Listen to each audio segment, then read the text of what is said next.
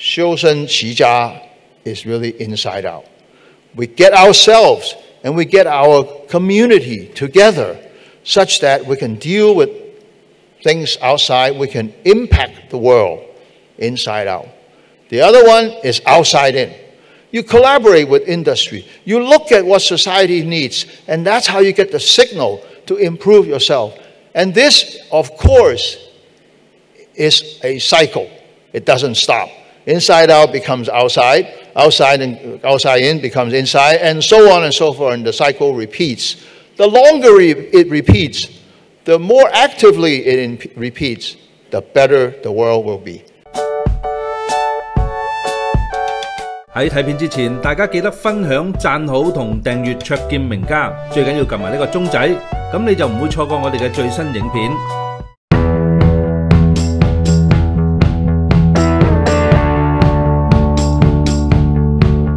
Uh, so, uh, what I uh, have been tasked to do is to talk about university as an engine of research innovation.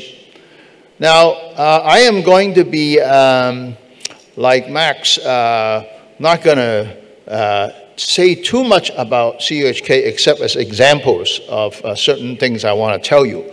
I'm going to take a more 30,000 feet high philosophical or conceptual point of view to really talk about what the heck is the role of a university in innovation. Right? Why do we need a uh, university to be innovative? All right. So I'm going to start with that. Now, let's first of all define innovation. Now, you hear people talk about all kinds of things, but I am taking it from an official source. This is the U.S. National Academy of Engineering. All right. Definition of innovation. There are four characteristics you need to pay attention to. Number one is that innovation is a product a process, or service. Secondly, innovation is an Im improvement, not just new. It's not invention. Invention is not the same as innovation. The scale can be incremental or transformational. Innovation has an impact on society, either now or in the future. And finally, innovation is a family affair. It is a team activity. Those are the four major characteristics of innovation. Right? You must have that to be innovative. All right. So this um, uh, diagram, uh, which has a moving part, it kind of illustrates how you go from basic research all the way to something that has social impact. Now, there's a big turning wheel in the middle. You got translational research, industry partnership, fundraising, intellectual property, business strategy, etc. The next step would be product development and then manufacturing and marketing and then something that has societal impact. So this is usually how we refer to, oh, wow, you got innovative product, so on and so forth. All right. Or you can say from papers to products. Now, in order for a university, the role of a university to cultivate talent, stimulate innovation, etc., etc., builds on four things. You need to foster and culture entrepreneurship. You need to promote diversity and inclusion. You need to encourage collaboration with private sectors, and then you need to explore the societal benefits of technology. Now, I'm going to go back quite a few thousand years to something that was uh, spelled out in Da Xue, one of the four great books. How do you succeed? I'm going to skip the first four, which, which has Hong Kong U's logo in it, so I'm going to skip that. Uh, hey, I, I got to stick to not advertising for, for other universities. Uh, 修身齐家治国平天下. That's how you make a difference in the world. In English, cultivate self, harmonize your family, govern state, which is not a really a good translation. I couldn't find, figure out how to do a good translation. And then finally, bring goodness to the world. And I truly believe that is the exact same path that we must take to get to innovation. All right, I'm going to give you some examples and build on these four things uh, uh, later. But let's talk about culturing and fostering entrepreneurship. I said that's Xiushen. That means you have to enrich yourself. As uh, JG said, you need to be a self-learner, right? Xiushen is exactly that. It's self-learning plus many other things.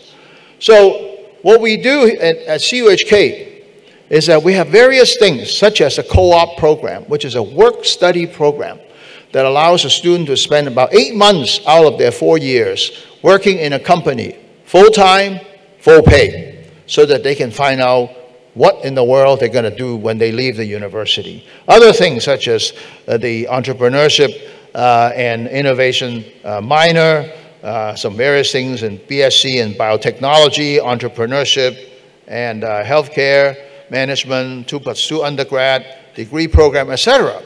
And then from learning or spoon feeding, if you want to uh, use uh, uh, JG's terminology, they're learning and then they need to compete. Now, competition is not a nasty thing. Everybody knows if you're in a race, such as in the, the Olympics, whoever's the fastest still will run faster in a race rather than by, by himself or herself.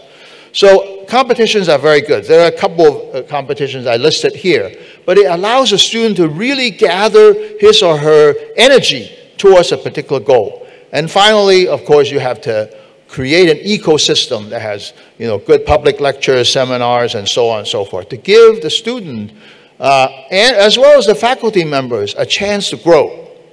All right, the next one, promoting diversity and inclusion. What does that mean? Well, I just drew a diagram. I used the same programs and courses as sort of a, of a, a centerpiece. We need to do four types of diversity and inclusion activities. Number one, academia industry. I think you've already heard many, many discussions how to do that, so I'm going to skip the description. Interdisciplinary. Now, what the heck is interdisciplinary?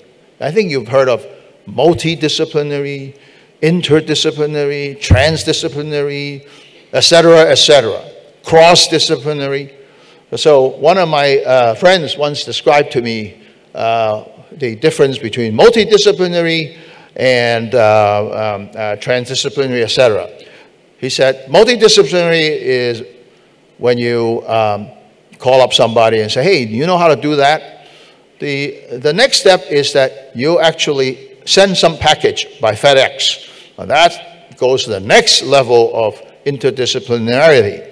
And finally, the true transdisciplinary uh, action is that you actually go to the guy's lab and office and stay for a couple days or maybe even a month to do your experiment. So that's transdisciplinary and the highest level of interdisciplinary.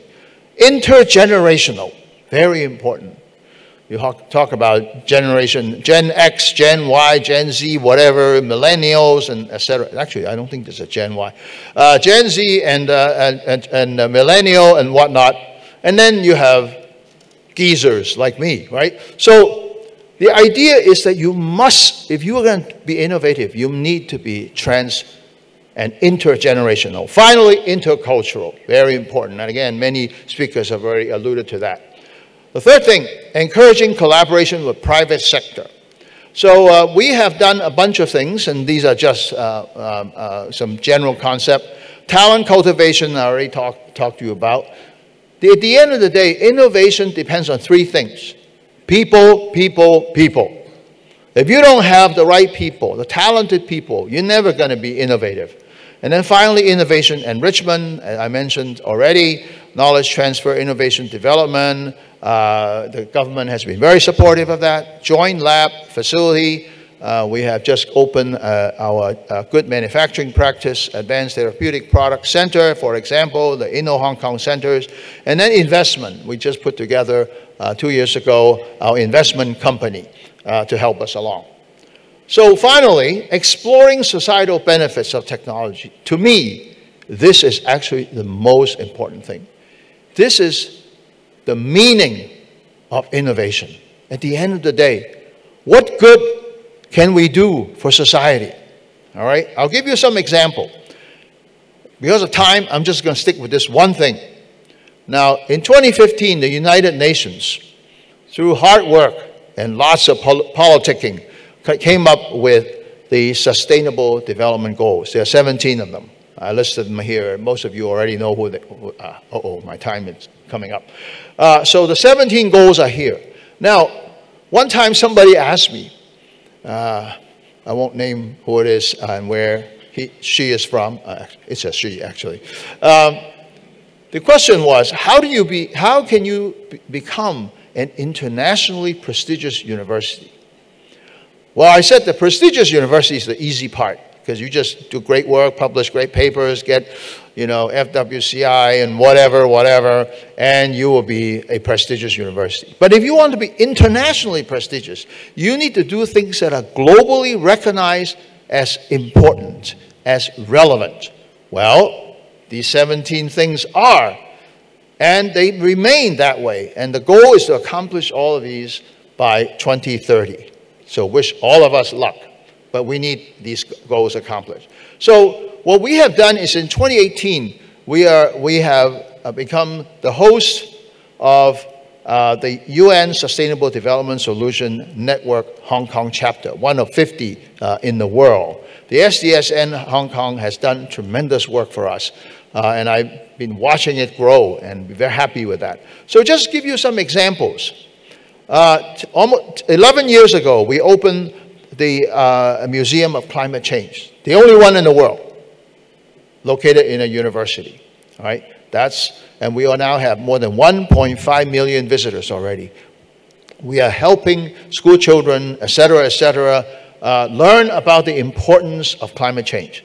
We have a coral restoration project, uh, SDG 14. We have um, developed uh, the AI curriculum for, for secondary schools in Hong Kong, quality education. And then finally, we have the Mangrove Forest Project, Life on Land, uh, SDG 15. So these are just some examples. So I urge all of you to use the 17 SDGs as a menu to pick from. If you do something in any of these things, I think you will become an internationally reputed and, uh, uh, uh, and also innovative university. Well, actually, one of them is really, really hard peace, which is number 16, which we, mankind, really sorely need, lack right now. All right, so let me just uh, finish up by saying uh, we, we train talent in many different areas. We get them engaged with the community, and that's how you get from zero to one in terms of innovation. So, back to this uh, Confucian maxim from 大学“修身齐家治国平天下”. Well, I'm actually a, uh, a biologist or, or life scientist at heart. I work with cells. How do cells deal with the rest of the world? Just like how do we deal with the rest of the world? Cells do two things. You can group them into two things. One is inside out, and the other one is outside in. Xiushen Qijia is really inside out. We get ourselves and we get our community together such that we can deal with things outside, we can impact the world inside out. The other one is outside in. You collaborate with industry. You look at what society needs, and that's how you get the signal to improve yourself. And this, of course, is a cycle. It doesn't stop. Inside out becomes outside, outside and outside in becomes inside, and so on and so forth, and the cycle repeats. The longer it repeats, the more actively it repeats, the better the world will be. So that's how universities can contribute to the word innovation. So thank you very much. 中意名家分析，记得俾 like 同埋分享，支持同订阅卓见名家。最紧要揿埋呢个钟仔，咁就唔会错过我哋嘅新片。